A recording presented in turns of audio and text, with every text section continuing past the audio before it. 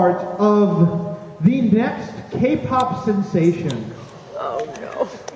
And the really cool part about this next big K-pop sensation is that you are Siamese quintuplets. You are all conjoined at the hip. But you will be performing your brand new K-pop show in front of an audience of millions. I'm going to count from five to one, and we're going to wake up. Five, four, three, two, one. Oh, Awake.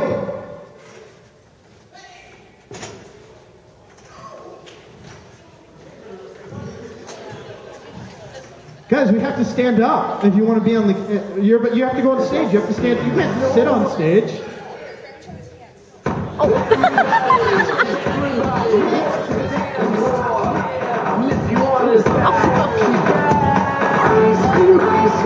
ice cream. Ice cream, ice cream,